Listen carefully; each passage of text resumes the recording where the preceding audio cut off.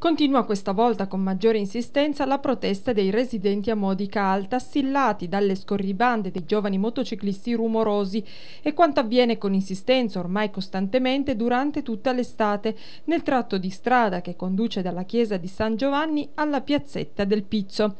residenti esasperati dal dover subire ogni notte dalle 23 sino a notte inoltrata un continuo andirivieni di giovinastri che si cimentano con le loro moto in vere e proprie gimcane pericolose, rumorose, incuranti del fatto che in questo modo, oltre a disturbare la quiete pubblica, costituiscono un serio pericolo per l'incolumità dei pedoni. Della problematica si è fatto carico in questi giorni la sezione di Modica d'Italia dei Valori, che in una nota sollecita l'amministrazione di intervenire, magari facendo ricorso allo stesso metodo adottato Marina di Modica da parte del primo cittadino, che si è rivolto ad un istituto di vigilanza privata per garantire la sicurezza dei villeggianti. Italia dei Valori auspica il ricorso a tale metodo anche per i residenti di Modica Alta, anche per scongiurare, viene scritto in una nota diramata, che i cittadini possano pensare ad una politica di due pesi e due misure da parte dell'amministrazione comunale.